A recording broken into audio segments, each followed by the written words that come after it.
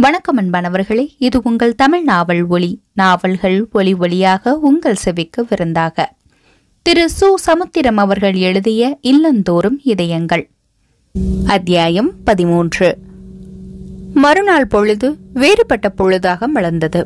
சாமக்கோழி கூவும்போது எழுந்து அப்பாவுக்கு பணிவிடைகள் செய்துவிட்டு அவரது பழைய துணிமணிகளை கொல்லைப்புறத்து கிணற்றில் துவைத்து உலர வைத்துவிட்டு அவள் சாப்பிட தயாரான போது காலை மணி ஒன்பது. சாப்பாடு வந்தது பத்து மணிக்கு. அப்படியும் அவளால் சாப்பிட முடியவில்லை. நேற்று இரவு சாப்பிடாமலே ஏன் சாப்பிடலை என்று யாரும் கேட்காமலே தூங்கி எழுந்தவளுக்கு உடம்பின் பௌத்தீகத்தனம் தன் இயல்புப்படி பசியாக மாறியது.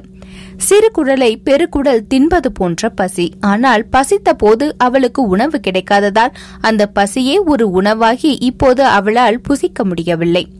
ஒரு கவளம் உணவு கூட உள்ளே போக மறுத்தது. சோற்றை எதிரே நின்ற நாய்க்கு வைத்துவிட்டு தட்டை கழுவி சமையலறையில் வைத்துவிட்டு வெளியே வந்து அப்பாவை பார்த்தாள். அந்த ஜீவனற்ற ஜீவன் கல்லாய் சமைந்தது போல் குற்றுயிர் குலை உயிராய் ஆனது போல் அப்படியே கிடந்தது. ஒரு காலத்தில் ஜீவநதியாக ஓடி இப்போது நீரில்லா பள்ளத்தாக்காக போன அந்த அப்பாவை அப்படியே பார்த்தாள். அவளுக்குள் ஒரு வைராக்கியம் பிறந்தது. அப்பாவுக்கு எப்படியும் அந்த மாத்திரையை வாங்கி கொடுத்து அவர் உட்காருவதை பார்த்தாக வேண்டும். அவரது விழிகள் உருளுவதை கண்டாக வேண்டும். ஒருவேளை எதையாவது பேசலாம் அதை கேட்டாக வேண்டும். எப்படி முடியும்? கையிலே காசில்லை. கடன் கேட்க முடியாத அந்தஸ்துள்ளவள் எப்படி முடியும்? எப்படியோ முடிய வேண்டும். அப்போது கையில் நான்கைந்து கடிதங்களோடு வெளியே போய்க் கொண்டிருந்த சந்திரனை பார்த்தாள். நேத்து ஆத்திரத்துல பேசிட்டேன்னு தப்பா நினைக்காத. மன்னிச்சிருக்கா? இப்பவே தூத்துக்குடிக்கு போய் நீ சொன்னபடியே அந்த மாத்திரைகளை வாங்கிக்கிட்டு வரேன் என்று சொல்வான் என்று எதிர்பார்த்தாள். அவன் அப்படி சொல்லவில்லை.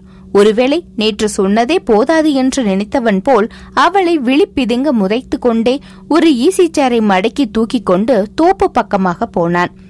நாற்காலியில் மல்லாந்து படுத்துக்கொண்டே கையில் இருந்த கற்றையில் ஒரு காகிதத்தை எடுத்து படித்துக் கொண்டிருந்தான். அவன் போவதை கண்ணாலே பின்தொடர்ந்த மணிமேகலை அவன் எதை படிக்கிறான் என்பதை யூகித்துக் கொண்டாள். மடமடவென்று அவன் அருகே போய் நின்றாள். சந்திரன் ஒரு மகாபெரிய ரகசிய கடிதத்தை மூடினான். பாமா எழுதின லெட்டருங்களா? எதுவோ ஒண்ணு. இந்த பாருப்பா பாமா நேற்று வரை உன் காதலியா இருந்திருக்கலாம். ஆனா இன்றைக்கு அவள் இன்னொருத்தருடைய மனைவி.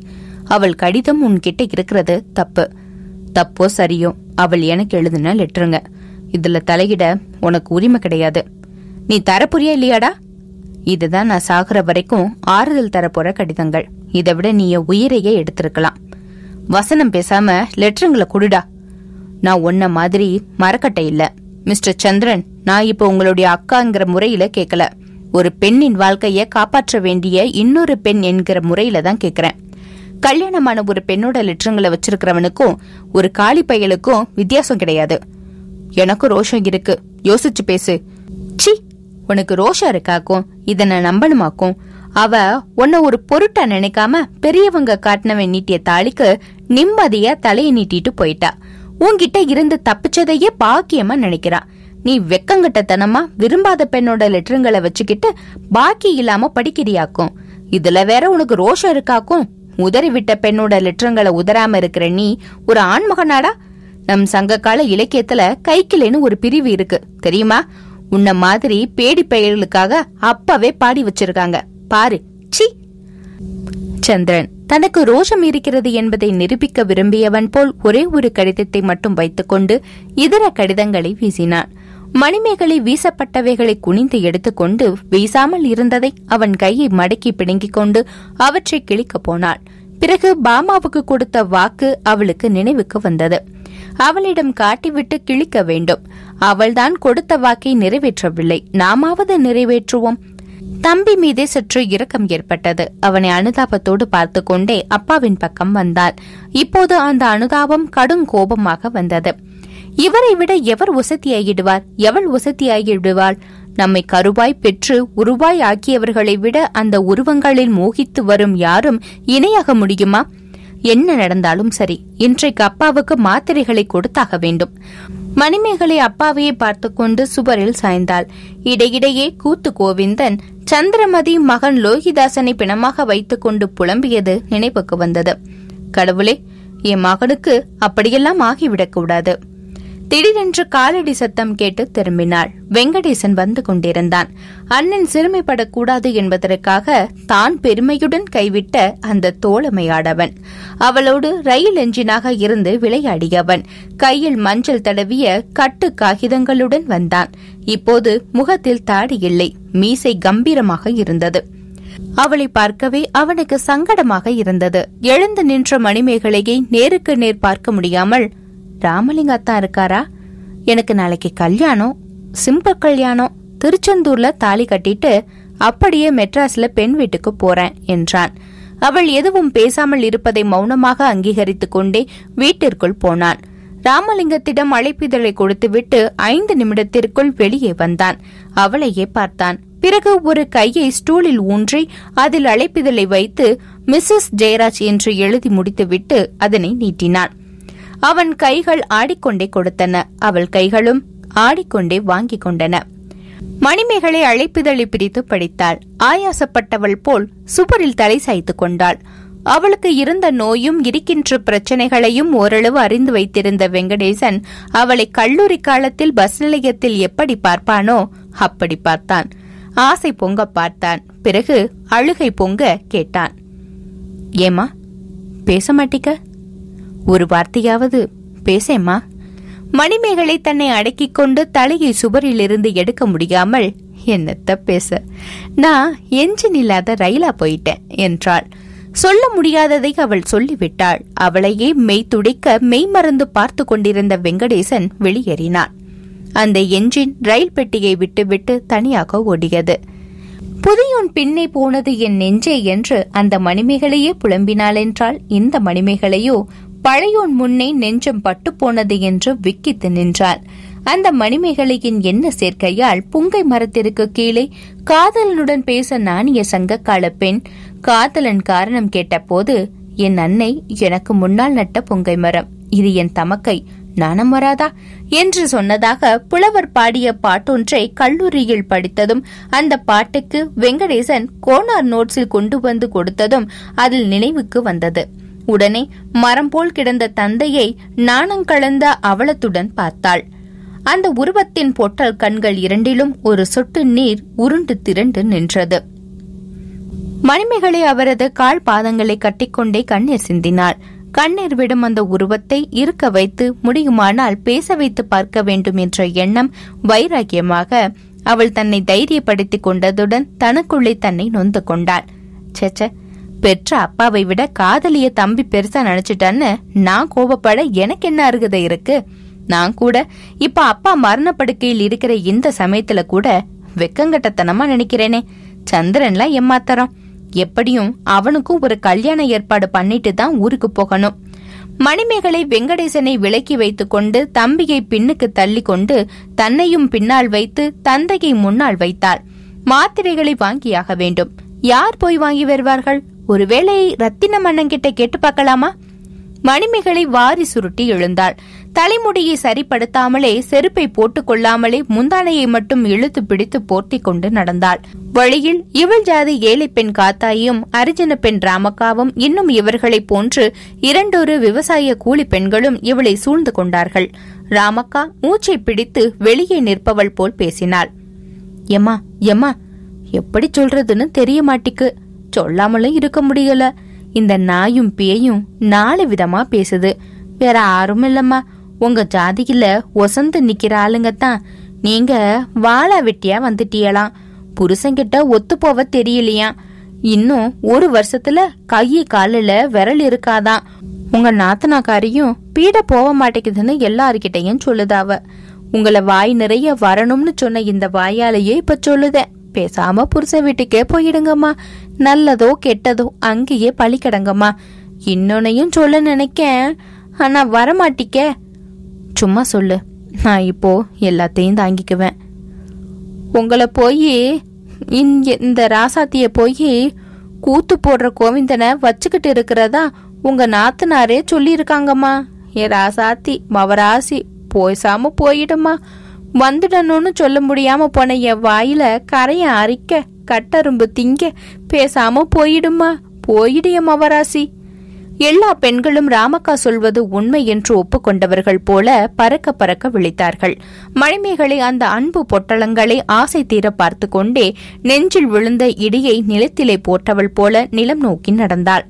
ரத்தினத்தின் ஓலை வீட்டுக்குள் அவள் வந்தபோது அவன் தன் மகனுடன் தெள்ளாங்குச்சியை சீவிக் கொண்டிருந்தான் அந்த பயலோ நொங்கு வண்டி நொங்கு வண்டி என்றான். வராதது போல் வந்த மணிமேகலையை பார்த்த ரத்தினத்திற்கு முதலில் ஒன்றும் ஓடவில்லை.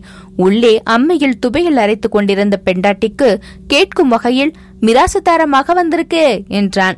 பிறகு ஏய் கொம்பேறு மூக்கி இங்க வந்து பாருமுடி ஓ நாத்தனார் வந்திருக்கா? என்று ஆனந்த கூத்தாடிய போது அவனோடு அம்மி மிதித்த அந்த பெண் மணிமேகலையை அருந்ததியை பார்ப்பது போல் பார்த்தாள். பிறகு எழுந்துருமா இந்த கோரப்பாயில உட்காருமா ஒம்மத்தான் பக்கத்து டெய்லர் கடையில முக்காலி கிடக்கு. எடுத்துட்டு வருமே என்றாள்.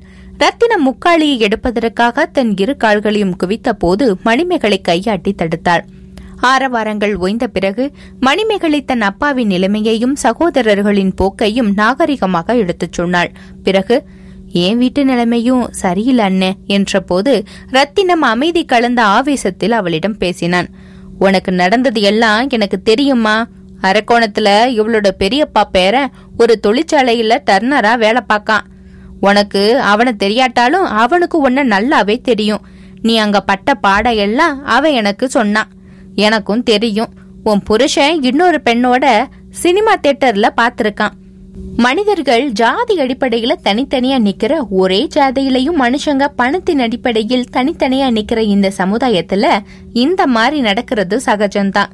இதுக்கு நீயும் ஒரு வகையில காரணம் எப்போ உன் புருஷன் உன்னை தள்ளி வைக்கிறானோ அப்பவே நீயும் அவனை தள்ளி வச்சிடணும். சொத்துல பங்கு கெட்டிருக்கணும். எப்போ உன் அண்ணன் தம்பிங்க அப்பாவை பார்க்கலையோ நீ அப்பவே அவங்க முகத்துக்கு எதுக்காலேயே என் சொத்தை பிரிச்சு கொடுங்கடா. எனக்கும் சொத்துல உரிமை இருக்குன்னு அடிச்சு பேசி இருக்கணும். இந்த காலத்துல நல்லவனா மட்டும் இருந்தா பத்தாது வல்லவனாவும் இருக்கணும். இப்படித்தான் இந்த பொண்ணு வடிவுக்கரசிக்கு அறுபது பவனும் இருபதாயிரம் ரூபாய் ரொக்கமும் போட்டு எவனோ ஒரு கிளர்க்குக்கு கட்டி கொடுத்தாங்க. அந்த பையன் அப்பா அம்மா பேச்ச கேட்டு தூத்துக்குடியில வீடு வாங்குறதுக்கு உங்க அப்பா கிட்ட போய் ரூபா வாங்கிட்டு வந்தாதான் வீட்டுக்குள்ள நுழைய விடுவேன்னு சொன்னானா. இந்த பொண்ணும் அப்பா கிட்ட வந்து ஒப்பாரி வைக்க அவரும் ரூபா கொடுத்து விட்டாரு. இப்படிப்பட்ட பயல்வ கிட்ட எதுக்காக வாழணும்? தாலி அறுத்தவன் மூஞ்சியில வீசினாதான் என்ன? இந்த லட்சணத்துல கல்யாண அழைப்புதல்ல முருகன் படத்தை போடுறானுங்க முட்டா பயலுவ. இவங்க முருகனுக்கு பதிலா ரூபா நாணயத்தை எல்லாம் அழைப்புதல்ல போடணும். துப்பு கெட்ட பயலுக. துட்டு தான் இவனுங்களுக்கு முக்கியம். மணிமேகலை சிந்தனையிலிருந்து விடுபட்டவாறு கேட்டாள். சரி இப்போ ஆக வேண்டியதுக்கு வழி சொல்லு. பொறு தூத்துக்குடி போறேன். நாலு மாத்திரை வாங்கிட்டு வரேன். யாரிடமாவது கொடுத்து அனுப்புறேன். நாங்க வர முடியாது. உங்க அண்ணனுக்கும் எனக்கும் அடித்தடி மட்டும்தான் வரல. இப்ப வந்தா நல்லா இருக்காது. உன்கிட்ட பேசிக்கிட்டே இருந்தா எத்தனையோ விஷயங்கள் புரியறாப்ல இருக்கு. நீ சொல்றத ஒத்துக்க முடியாட்டாலும் ஆறுதலா இருக்கு. அப்போ நான் வரட்டுமா? அப்பா தனியா இருக்காரு. கடலுக்கு மத்தியில தாகத்துக்கு தண்ணி கிடைக்காத கதை உங்க அப்பாவோட கதையும் உன்னோட கதையும். நான் வரட்டுமா? அவ்வளவு சீக்கிரமா உன்னை விட்டுடுவோமா? அடிய பகவதி அம்மாளு உன் நாத்தனாருக்கு உபசரிக்கிற லட்சணம் அடியுது. பகவதி அம்மாள் சிரித்துக் கொண்டே ஒரு தட்டில் வறுத்த மொச்சை கொட்டையையும் கூடவே ஒரு டம்ளர் கருப்பட்டி காப்பியையும் கொண்டு வந்து கொடுத்து விட்டு இவிய பேச்ச கேளாதம்மா. ஊர்ல யாரும் சண்டை போடலைன்னா இவியளுக்கு தூக்கம் வராது என்றாள். நான் இப்ப சொல்றதுதான் தங்கச்சி. உன் புருஷன் கூட இனிமே உன்னால இருக்க முடியாது. அந்த நரிப்பைய ராமபத்திரம் பத்தி எனக்கு நல்லா தெரியும். என் உதவி உனக்கு தேவைன்னா ஒரு லெட்டர் போடு. நான் அங்க வந்து நிக்கிறேன். மருந்து எப்படி கொடுக்கணும்? எப்ப கொடுக்கணும்? எப்ப கிடைக்கும்? இன்னும் ஒரு ஒரு மணி நேரம் பொறுத்துரு. பணம் எவ்வளவு? அட சும்மா கடமா உன் பணத்துல தான் நான் அந்த கம்மாய விலைக்கு வாங்க போறேனாக்கும். சரி கிளம்பு. உன் அண்ணன் இங்க வந்து ரகலை பண்ணாலும் பண்ணுவாரு. அப்புறம் மருந்து நல்லா தூள் தூளாக்கி வெந்நீர்ல கலந்து கொடு. ஒரு நாளைக்கு ரெண்டு வேளை. மணிமேகலை புறப்பட்டார். மத்தியான வேலை. அப்பா அப்படியே கிடந்தார். அண்ணன் குடும்பத்தினர் சாப்பிட்டுக் கொண்டிருந்தார்கள். சந்திரன் இன்னும் அந்த தோப்பிலேயே இருந்தான். ஒரு மணி நேரத்திற்கு முன்னதாகவே மாத்திரைகளை கூத்து கோவிந்தன் கொண்டு வந்து கொடுத்தான். மணிமேகலை உடனடியாக ஒரு மாத்திரையை தூள் தூளாக்கி வெந்நீரில் நன்றாக கலக்கி தந்தையை லேசாக தூக்கிக் கொண்டு உதடுகளை பிரித்து உள்ளே ஏற்றினார். வெந்நீர் கலவை தொண்டைக்குள் போகும் சத்தம் குட்டி அருவி யோசை மாதிரி கேட்டது. இதற்கிடையே வெங்கடேசன் வகைராக்கள் பூத்தட்டுகளுடன் மேலத்தாளத்துடன் பத்திரகாளியம்மன் கோயிலுக்கு போனார்கள். வெங்கடேசன் மேல் சட்டை போடாத மேனையில் ரோஜா பூ மாலை விளங்க கையில் மஞ்சள் காப்பு குலுங்க கூட்டத்தின் மத்தியில் போய்க் கொண்டிருந்தான். நடந்ததையும் நடப்பவையும் அவள் நினைத்து நினைத்து இறுதியில் நெஞ்சை நிர்மூலமாக்கிய போது பகல் பொழுதும் நிர்மூலமானது. இரவு எட்டு மணிக்கு மீண்டும் ஒரு மாத்திரையை எடுத்து தந்தையின் வாயில் ஊற்றினாள். விடிந்தது. அவளுக்கு விடியாதது போல் விடிந்தது. காலை பொழுது கதிரவன் கைவிரித்தான் மணிமேகலை அப்பாவை பார்த்தால் ஆச்சரியம் தாங்க முடியவில்லை. அவரது கை ஆடியது கால் ஆடியது கண்கள் சுழன்றன. வாய் ஊமை போல் முழங்கியது அவள் வீட்டுக்குள் இருந்தவர்களை பார்த்து இங்க பாருங்க இங்க வந்து பாருங்க என்று சொல்லிவிட்டு அப்பாவை அணைத்தபடி தூக்கி கட்டலில் வைத்தாள். அவர் அப்படியே இருந்தார். உடம்பு கீழே சாயவில்லை. மா மா மணி மணி என்று சன்னமான சத்தம் கேட்டது. ஓட்டிலிருந்து குதித்த கோழியை பார்த்து அவரது கண்கள் சுழன்றன. காது கூட கேட்குதோ? மணிமேகலை ஆனந்த பரவசமானாள். அப்பாவை கட்டிப்பிடித்து குழந்தை மாதிரி விம்மினாள். பின் தாய் மாதிரி நீவி விட்டாள். பாட்டி மாதிரி அவரை உச்சி மூந்தாள். அப்பா அப்பா அப்பா. அம்மா அம்மா அம்மா. மோனத்தின் முழு சுகத்தில் அந்த இரு ஜீவன்களும் லைத்தன மணிமிகளை தந்தையின் கைகளை எடுத்து தன் முதுகைச் சுற்றி வட்டமாக வைத்து பிடித்துக் கொண்ட போது அவள் போட்ட சத்தம் கேட்டு அங்கு வந்த அண்ணனும் அண்ணியும் திகைத்து நின்றார்கள். உங்களால செய்ய முடியாதத நான் செஞ்சு காட்டிட்டேன் பாருங்க என்று பௌசு செய்கிறாளோ? அண்ணன் அவளை பாராட்டாமல் அவள் மாத்திரைகளை வாங்கி வந்த விதத்தை பாராட்டினான். ஆமாளா நீ எதுக்காக ரத்னத்தோட வீட்டுக்கு போன? போனால் என்ன? அவன் என் வயல்ல மறியல் பண்ண போறானா? நீ என் மானத்தை வாங்கும்படியா எதுக்காக போன? நான் எதுக்காகவும் போல. மாத்திரைகளை வாங்க தான் போனேன். அதுக்கு மட்டும்தானா? இல்ல. அன்னிக்காரி அவன் பேச்சுக்கு இடைசெருகள் ஆனாள். இன்னும் எதுக்கு அவ மறைச்சு மறைச்சு பேசணும்? நேத்து கோவிந்தன் கூட கூத்தடிச்சா. மத்தியானம் ரத்தனத்துக்கு கிட்ட போயிட்டு வாரா. நாளைக்கு எவன் கூட போக போறாளோ? கல்யாணம் ஆகும் முன்னதான் வெங்கடேசங்கிட்ட சிரிச்சா. இன்னுமா இப்படி?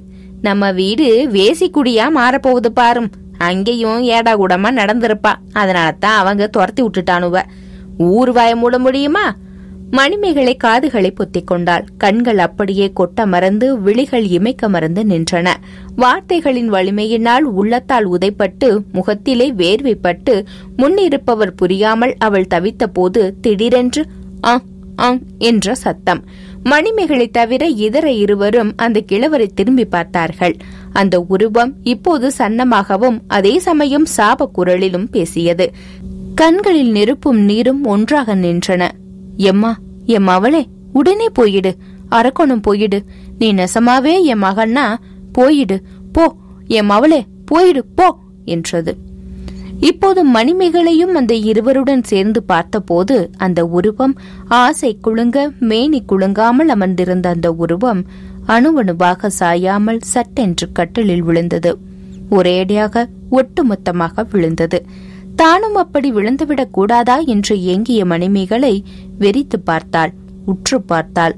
தன்னை பெற்றவனை ஏன் பெற்றாய் என்பது போலவும் பார்த்தாள். எல்லோரும் அவரை நெருங்கி பார்த்தார்கள். கண்கள் மீண்டும் நிலைக்குத்தி நின்றது. வாய் கோணி போய் நின்றது. கை கால்கள் சில்லிட்டவை போல் உணர்வின்றி கிடந்தன. மூக்கில் வழியாக மட்டும் லேசாக காற்று வந்து கொண்டிருந்தது. மணிமேகலை புரிந்து கொண்டாள். இது மீளாத முடக்கம். மீட்க வேண்டியவர்களே முடக்கி போட்ட முடக்குவாத முடக்கம். இடக்குவாத முடக்கம். இனிமேல் கண்கள் சுழலாது. கை கால்கள் ஆழாது. நீர் முட்டாது. இனி நெருப்புதான் சுடும். அந்த நெருப்பு பற்றி எறுவது வரைக்கும் இவள் அண்ணனின் மேலான அங்கீகாரத்தில் அண்ணி கொடுத்த நெருப்பு கட்டிகளை நெஞ்சில் வைத்துக் கொண்டு இருக்கக்கூடாது. அப்படி இருந்தால் இனிமேல் அவள் வேசிதான். சந்தேகமே இல்லை அடிச்சாலும் உதைச்சாலும் அரக்கோணம்தான் அவளது வீடு. இங்கே நடக்கும் ஏனோதானோ பொக்குகளுக்கு சாட்சிக்காரியாய் இருப்பதை விட அங்கே சண்டைக்காரியாக இருந்து விடலாம். மணிமேகலை சூர்கேஸை எடுத்துக்கொண்டாள் அன்னிக்காரி அவள் அதை எப்போது வேண்டுமானாலும் எடுத்துக்கொள்ளலாம் என்பது போல் முன்னறையில்தான் வைத்திருந்தாள். மணிமேகல் அப்பாவையே பார்த்தாள். அங்கே போய் அவர் கண்களையே பார்த்தாள். அந்த கண்களில் இப்போது நீர் முட்டவில்லை. அவரது பாதம் அருகே வந்து சூர்கேஸை கீழே வைத்துவிட்டு கையெடுத்து கும்பிட்டாள். பிறகு அவர் கால் பாதங்களை கைகளால் அழுத்தி அதில் கிடைத்த புழுதியை எடுத்து தன் நெற்றியில் வைத்துக்கொண்டே கண்களை மூடியபடியே நின்றாள். பிறகு கால்களை போனபடியே விட்டாள். வீட்டின் காம்பவுண்டு கேட்டுக்கு வந்தபோது இன்னொரு தடவை அப்பாவை இறுதியாக பார்க்கலாமா என்று கூட நினைத்தாள். வேண்டாம். போக வேண்டாம் என்று ஒரு வார்த்தை சொல்லாத அந்த சொந்தங்கள் சுக ஜீவனம் செய்யும் வீட்டிற்குள் இனியொரு தடவை போக வேண்டாம். அப்பா ஏற்கனவே செத்துவிட்டார். அப்படியே சாகவில்லை என்றாலும் அந்த சொந்தங்களின் சுமை தாங்காது. அந்த மூக்கு மூச்சு ரோசத்தோடு போய்விடும். வீதிக்கு வந்த அவளை ஊர் பிரமுகர்கள் கண்டுக்கவில்லை. வேறு பக்கமாக திரும்பிக் கொண்டார்கள். ராமக்கா காத்தாயி தங்கம்மா பாட்டி போன்ற பெண்கள் வாயடைத்து போய் நின்றார்கள். போயிட்டு வாங்கம்மா என்று எப்படி சொல்ல? வாங்கம்மான்னு இந்த கேடுகெட்ட ஊருக்கு அவளை வர சொல்லப்படாது. அதே சமயம் போ என்று மொட்டையாகவும் சொல்ல முடியாது. ஆகையால் அந்த ஏழை பாளைகள் மொட்டை மரம் போல் கை மட்டும் நெறித்தார்கள் கூத்து கோவிந்தன் அந்த பெண்களுக்கு பின்னால் நின்றான். அவனை ரயில் நிலையம் வரை கூப்பிடலாமா? ஏன்? கூப்பிட்டால் என்ன? கூட பிறக்காமலே பிறந்த அண்ணன் அவன். வேண்டாம். நான் கூப்பிட்டால் அவன் வருவான். அப்புறம் நம் சொந்தக்காரர்கள் எனப்படுபவர்கள் அந்த அப்பாவியை கட்டி வைத்து நீ எப்படிடா போகலாம் என்று உதைக்கலாம்? வேண்டாம். மணிமேகலை கூனி குறுகி நடந்தாள். அந்த அம்மாவோட குடியவே கெடுத்துட்டியேயா? நீ சூதுவாது இல்லாம போனாலும் அந்த வீட்ல இருக்கிறவிய சூதுவாது சூனியக்கார பேயின்னு உன் களிமண்ணு மண்டையில ஏன் படல? என்று சற்று முன்பு ராமக்காவிடம் வாங்கி கட்டிக்கொண்ட கூத்து கோவிந்தன் சந்திரமதியையும் மணிமேகலையும் ஒரு சேர நினைத்துக்கொண்டே பயந்து போய் திருட்டுத்தனமாக பார்த்தான். மணிமேகலை குனிந்த தலை நிமிராமல் அக்கம் பக்கம் அவளுக்காக வருத்தப்படும் எளியவர்களையும் பார்க்காமல் நடந்தார் திடீரென்று ஒரு கம்பீரமான குரல். சூர்கேச கொடுமா இந்த அண்ணங்கிட்ட கொடுமா. ரத்தினம் கம்பீர பார்வையுடன் நின்றான். தலையில் முண்டாசு உடம்பில் பனியன் தார் பாய்ந்த வேட்டி. மணிமேகலை மௌனமாக பெட்டியை கொடுத்துவிட்டு அவன் பின்னால் நடந்தாள். எதிரே சந்திரன் வந்தான். கரும்பு தோட்டத்தில் பாமாவின் கையை வங்கி மோதிர கையோடு அழுத்திய அந்த இடத்தில் அழுத்தமாக உட்கார்ந்து கொண்டு ஒரு ஆமணக்கு செடியை பிடித்து அதை பாமாவாக பாவித்து அதன் கொட்டை முத்தை மோதிரமாக நினைத்து அழுத்த பிடித்து சொல்லி மாளாத கற்பனை சுகத்தை கண்டுவிட்டு வயிற்று பசி காதல் பசி அடங்கியதால் வீட்டுக்கு வந்து கொண்டிருந்த அவன் அக்கா எங்கே போகிறாள்? என்று புரியாமல் தவித்து நின்றபோது ரத்தினம் எட்டு ஊருக்கும் கேட்கும்படி பேசினான். நானும் உனக்கு அண்ணந்தாமா என் பின்னாலேயே வா. முருங்க மரம் தேக்காகாது. ஊர்க்குருவி பருந்தாகாது. கூட பிறந்ததாலேயே ஒருத்தன் சகோதரன் ஆயிட முடியாது. உடன் பிறந்தே கொள்ளும் நோயின்னு ஒரு பாட்டு இல்லையா? நீ வாமா. எவனையும் பார்க்காம இந்த அண்ணன் பின்னால வாமா? சந்திரன் குழம்பினான். ஊர் ஜனங்கள் ஒட்டுமொத்தமாக அவனை பார்த்தார்கள். அவன் தன் சகோதர பாசத்தை நிரூபித்தாக வேண்டும். நானும் ஸ்டேஷனுக்கு வரேன். மணிமேகலை தம்பியை பார்த்தாள். தம்பியுள்ளான் படைக்க அஞ்சான் என்ற கம்பனை நினைத்தாள். உள்ளான் என்றுதானே சொன்னான்? உள்ளாள் என்று சொல்லவில்லையே. இப்ப கூட என்னக்கா நடந்தது? இந்த வீட்ல உனக்கு உரிமை உண்டு. வாக்கா வீட்டுக்கு என்று சொல்ல மனம் வரவில்லையே. ஸ்டேஷனுக்கும் வாரானாம். அக்காவை வழி அனுப்பி வைப்பதில் அவ்வளவு அவசரம். சந்திரன் தயங்கி மயங்கிய போது மணிமேகலை மயக்கம் தீர்ந்தவள் போல் கம்பீரமாக பதிலளித்தாள். நீ வீட்டுக்கு போப்பா. ஸ்டேஷனுக்கு வந்தா உனக்கு ரெண்டு கண்ணும் போன ஞாபகம் வந்துடும். உன்னால தாங்க முடியாது. அப்பா இறந்ததும் அவருக்கு கொல்லியாவது வை. போப்பா போ. நான் இப்போ என் அண்ணன் கூட தான் போய்கிட்டு இருக்கேன். சந்திரனும் ரத்தினத்துடன் மணிமேகலையும் எதிரெதிர் திசைகளில் போய்க் கொண்டிருந்தார்கள். டவுன் கட்டபொம்மனில் ஏறி ரயில் நிலையத்திற்கு வந்துவிட்டார்கள் அங்கே கூத்து கோவிந்தன் நின்றான். எப்படி வந்தான்? இந்த பஸ்ல வரலையே. அந்த இருவரின் திகைப்பையும் ரசித்துவிட்டு கோவிந்தன் லாரியில வந்த என்றான். ரயில் புறப்பட இன்னும் ஒரு மணி நேரம் இருந்தது. இப்போதுதான் மணிமேகலைக்கு டிக்கெட் ஞாபகம் வந்தது. கையில் இருபது ரூபாய் தான் இருக்கிறது. டிக்கெட் முப்பது ரூபாய். அங்கிருந்து அரக்கோணம் போயாக வேண்டும். அவள் கையை நெறித்தாள். அப்போது கையில் போட்டிருந்த ஒரே ஒரு தங்க வளையலை பார்த்தாள். ஒரு பவுன் தேரும். கூத்து கோவிந்தனை காணவில்லை. ரத்தினம் எதையோ யோசித்துக் கொண்டு நின்றான். அண்ணே அண்ணாச்சி என்னம்மா? சொல்லு. டிக்கெட்டுக்கு பணம் பணம் போதல. இந்த காப்ப ரத்தினம் அவளையே பார்த்தான். அவள் தயங்கி பேசிவிட்டு தயங்காமல் கொடுத்த தங்க வளைகளை தயங்கியபடியே வாங்கிக் கொண்டான். மணிமேகலைக்கா இந்த கதி என்னனே யோசிக்கிற? என் தங்க வளையலை பார்த்ததும் கண்ணாடி வளையல் கூட போடாத பெண்களோட நினப்பு வருதா? மணிமேகலை சிரித்தாள். அந்த சிரிப்பால் இதுவரை எல்லோரையும் அள வைத்து பார்க்கும் அந்த கம்பீரக்காரன் இப்போது வேறு பக்கமாக திரும்பி தன் கண்களை துடைத்துக் கொண்டான். பாவடை கட்டிக்கொண்டு தன் வீட்டில் சுட்ட வடைகளை கொண்டு வந்து கொடுக்கும் அந்த பத்து வயது சிறுமி. அவள் தலையிலே செல்லமாக கொட்டும் பதினைந்து வயது சிறுவன். எல்லாமே இப்போது நடந்தது போல இருக்கு. ரத்தினம் போய்விட்டான். கூத்து கோவிந்தன் ஏழெட்டு ஆப்பிள் பழங்களோடு ஒரு தயிர் சாத பொட்டலத்துடனும் வந்தான். கனிகளை கையில் வைத்துக் கொண்டே நின்றான். மணிமேகலையை பணிந்து பார்த்து கொண்டே நின்றான். இதற்குள் ரயிலும் வந்து விட்டது. கூத்து கோவிந்தன் லேடிஸ் கம்பார்ட்மெண்டில் ஏறி ஒரு இடத்தை பிடித்துக் கொண்டான். மணிமேகலை அங்கு போய் தன்னை முடக்கிக் கொண்டாள். ஹரிச்சந்திரன் ஜெயிக்காம போகல. திரௌபதி தேவி முடிய முடியாம போகல. கண்ணகி எரிக்காம போகல. கவலைப்படாதீங்க தங்கச்சிமா என்று அப்போது மரியாதையுடன் முறை செப்பினான் கோவிந்தன். இதற்குள் ரத்தினமும் வந்துவிட்டான் கையில் பழங்கள். அவற்றை அவளிடம் கொடுத்துவிட்டு பையில் இருந்த டிக்கெட்டை எடுத்து ஜன்னல் கம்பி வழியாக கொடுத்தான். சிக்னல் விழுந்தது. ரயில் சத்தம் போட்டது. பிறகு மெல்ல நகர்ந்தது. வேக வேகமாக நகர்ந்தது. அதனுடன் ஓடிய ரத்தினம் ஒரு பொட்டலத்தை எடுத்து எறிந்தான். பொட்டலம் ஜாக்கிரதை என்று சொல்லி முடிக்கும் முன்பே ரயில் ஓடியது. மணிமேகலையின் கண் முன்னால் அவர்கள் மறைந்து மறைந்து மங்களானார்கள். அப்படியே தன் பிறந்த ஊரின் முகப்புக்குள் அவர்கள் போவது போலவும் அவர்களே அந்த ஊர் என்பது போலவும் அவளுக்கு தோன்றியது. இத்துடன் இந்த அத்தியாயம் நிறைவடைகிறது. இந்த அத்தியாயத்தை பற்றிய உங்களுடைய கருத்துக்களை மறக்காம பதிவிடுங்க. உங்களுடைய கருத்துக்கள் தான் என்னுடைய இந்த முயற்சிக்கு உற்சாகத்தையும் பலத்தையும் சேர்க்கும். மீண்டும் அடுத்த அத்தியாயத்தில் உங்களை சந்திக்கும் வரை உங்களிடமிருந்து விடைபெறுவது தமிழ் நாவல் ஒளி நாவல்கள் ஒளி வழியாக உங்கள் செவிக்கு விருந்தாக. மறக்காம சப்ஸ்கிரைப் பண்ணிருங்க. நன்றி வணக்கம்.